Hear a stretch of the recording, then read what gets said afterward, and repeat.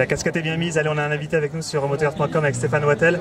Euh, Stéphane, cinquième du dernier Touquet. Le championnat de France des sables approche à grands pas. Où en es-tu un petit peu dans ta préparation? Alors, bah, j'ai repris euh, la préparation physique il y a maintenant de ça trois mois avec un nouveau préparateur. Euh, j'ai repris l'entraînement dans le sable il y a un peu moins de trois semaines. On reprend tout doucement. Maintenant, ça va reprendre la semaine prochaine avec la Lune Beach Race. Ensuite, on aura Berck le 19-20 octobre. Mais bon, c'est il y a encore un peu d'entraînement d'ici là et pour l'instant, tout se passe pour le mieux.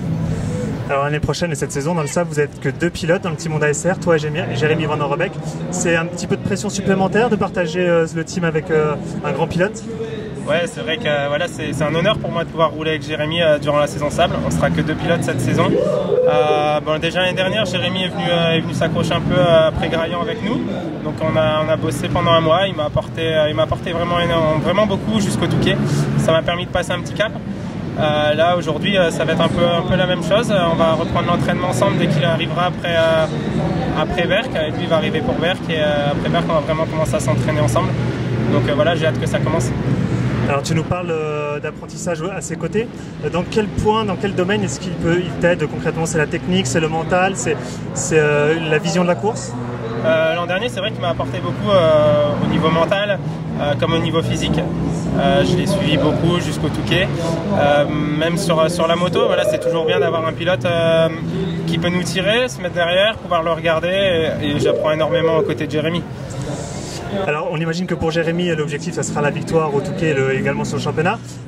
L'objectif de Stéphane sur cette saison et le Touquet, ça sera quoi? L'objectif, ça va être euh, être régulièrement dans les 5, pourquoi pas aller chercher un podium. Et euh, voilà, au Touquet, j'ai fait 5, donc euh, maintenant l'objectif, ça va forcément être de faire mieux. Aller chercher un podium, ça serait, ça serait exceptionnel, surtout au Touquet. Le niveau, hein, on en parle souvent, mais euh, il est de plus en plus élevé chaque année. Il y a de plus en plus de participants.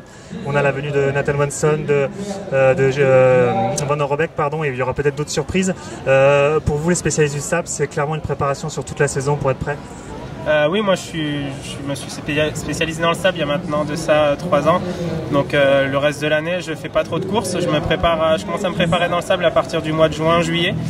Euh, oui, c'est sûr qu'il y a de plus en plus de monde qui vient et ça va intéresser de plus en plus aussi euh, les pilotes de GP, enfin, je pense. Et euh, non, c'est cool, ça, augmente le niveau, ça fait venir du monde aussi et puis euh, ça apporte pas mal au championnat. On dit souvent que les, Yamaha sont euh, un petit temps en avance dans le sable. Est-ce que, est-ce que tu partages cet avis? Est-ce que selon toi, la, Honda a également bien évolué? Euh, la Honda est une très bonne moto, c'est vrai qu'elle a bien évolué. Après, euh, moi je ne m'inquiète pas là-dessus, on a une moto qui, fonctionne aussi bien que les autres. Hum, on a une très bonne équipe derrière nous, on a, que ce soit Hervé, Joss, voilà, ils, savent de quoi ils parlent et les motos seront performantes pour toute la saison. Et Stéphanie fait quoi euh, du coup euh, le reste de la saison? Tu disais que tu faisais pas trop de courses. Tu travailles un petit peu à côté ou est-ce que tu, euh, te consacres à d'autres choses? Euh, oui, moi quand le Touquet est terminé, je travaille euh, pendant 6 mois, donc jusqu'à peu près juillet-août, et ensuite je me consacre qu'à la moto. Donc euh, ouais, je fais quelques courses de terre pour dire de garder un peu, la forme et puis euh, continuer à s'amuser à côté de ça.